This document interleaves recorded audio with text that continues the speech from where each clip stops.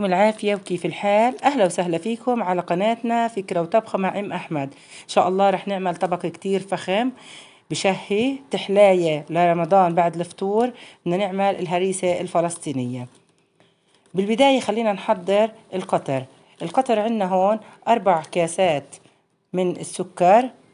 راح نضيف لهم ثلاث كاسات من الماء. نحركهم على البارد. وبنحطهم على نار متوسطة بعد خمس دقائق بنضع لهم ملعقة من من الليمون عصير الليمون. إذا ما وجد عندكم عصير الليمون فيكم تستخدموا حامض الليمون.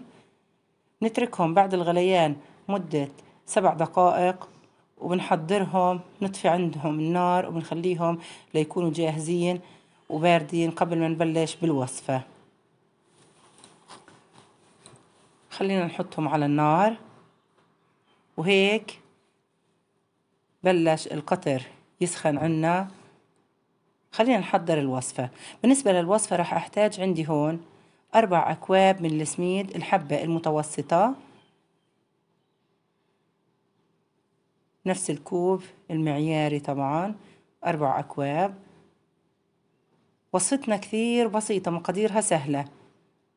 الأربع أكواب من السميد راح نضيف عليهم كوب من السكر.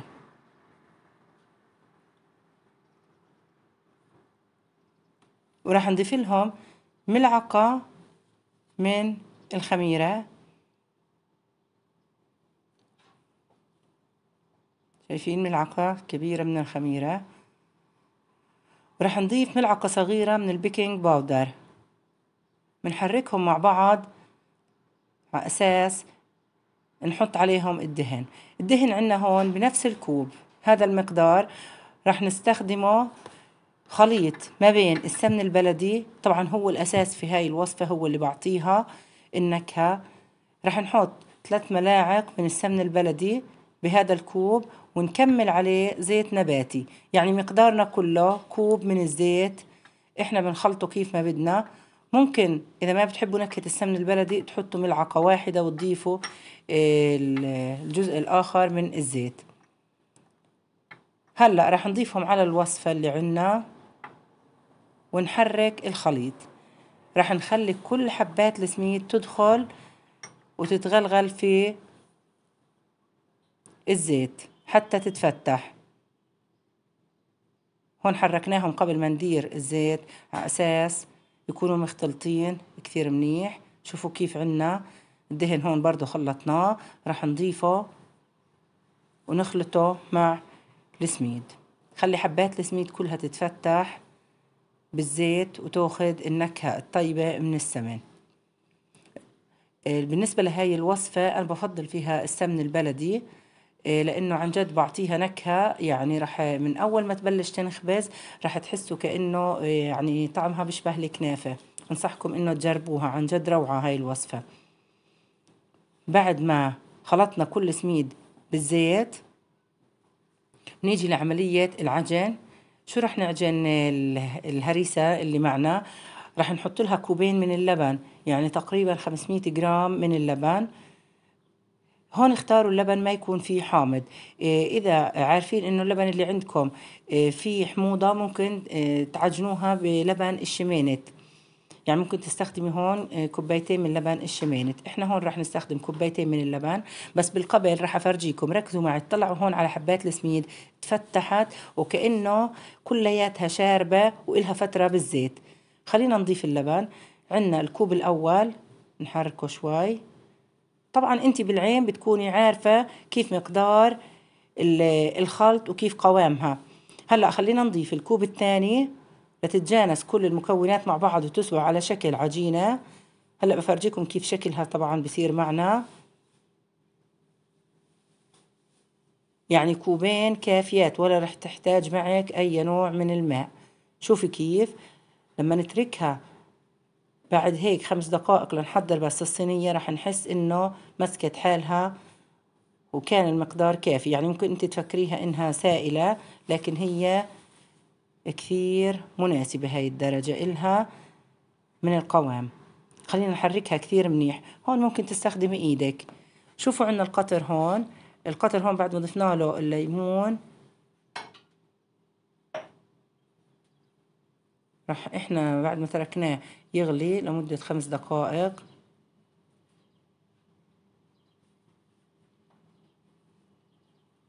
هون أنا حضرت الصينية. الصينية اللي عندي إيه، راح أدهنها بالطحينة والزيت. أنتوا إذا بتحبوا ممكن تدهنوها أصلا بالسمن البلدي. على أساس يعطي نكهة أقوى نعزز الطعم. هلأ هون بدي أدهنها أنا بالطحينة والزيت. حاولوا إنكم تدهنوا الجوانب. أساس يجي أطراف الخبيز إيه مشوية كثير منيح مش ملتصقة وبرضه الطحينة بتعطي نكهة طيبة للخبيز. ندهنها. نستخدم الفرشاي نخلطهم مع بعض ندهنها ونحضرها حتى نمد الهريسة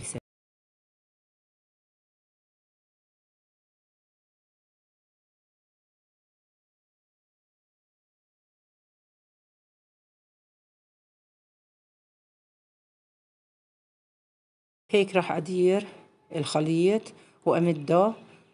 هون تفردوه. إذا بالإيد تفردوه أو بالسباتولا. هلأ بدنا نهزها شوي للصينية حتى يتوزع الخليط على جميع المقدار اللي عنا ونبلش نمد فيها.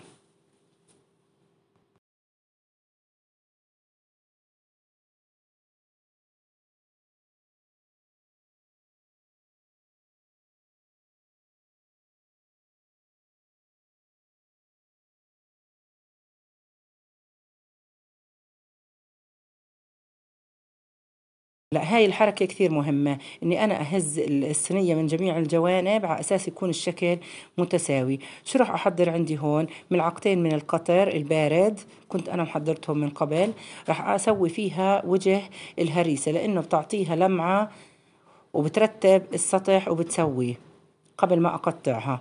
هلأ هون بعد ما أدهنها بالقطر كل وجه الصينية راح راح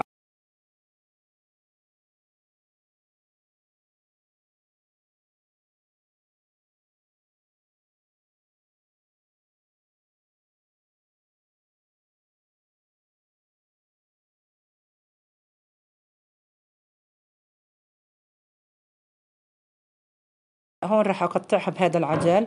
حاولت إني آه، أغمس أطرافه بالزيت النباتي. مش راح أوصل للكعب بشكل سطحي خفيف.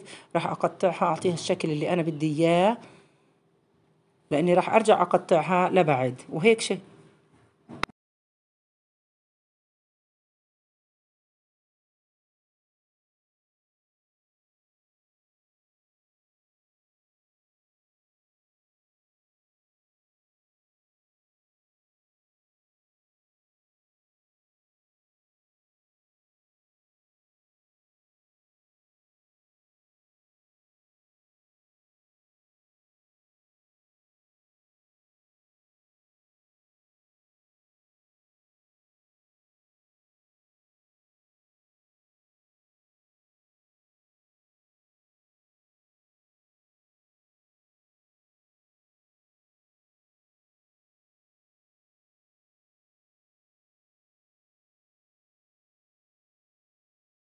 لها بعد ما تقطعت هلأ بدي أحط عليها أنصاف اللوز. بالنسبة للوز هون آه، اختاروا نوعية يكون طعمها طيب. آه، بنحاول نغرزها بنفس الاتجاه حتى تعطي شكل حلو. خلينا نكمل وأفرجيكم كيف راح تكون.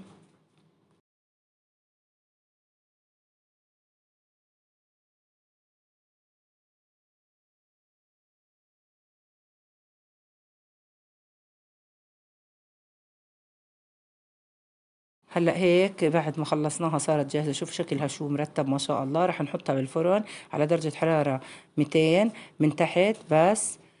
ورح نشوف كيف شكلها رح يكون بالفرن. هلأ بعد ما طلعناها لسه ما تحمرت على الآخر رح نرش عليها ملعقتين من الزيت النباتي وأرجع أعلم على الحزوز حتى الشكل يضل محفوظ منيح.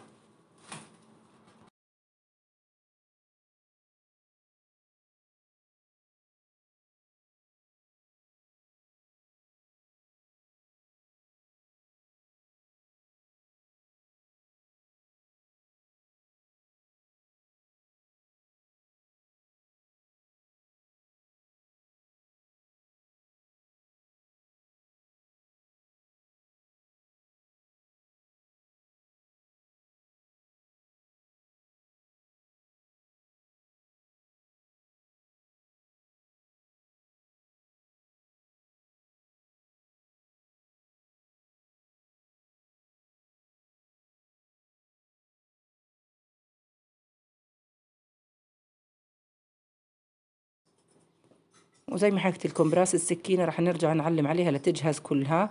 بروح برجعها على الفرن على التحمير لمدة دقيقتين بضلني عندها أتبع. بعد ما طلعت هيك بشكلها النهائي متحمرة رح أشربها القطر وأتركها على جنب لمدة ساعة حتى تشرب القطر وتاخد شكلها النهائي. وهيك بتكون وصفتنا. جهزت. بتمنى إنها تكون عجبتكم. عن جد وصفة طيبة بتشرفك دام ضيوفك جربيها بصحة وعافية. وإذا عجبكم الفيديو ما تنسوا تعملوا لنا لايك وأهلا وسهلا فيكم.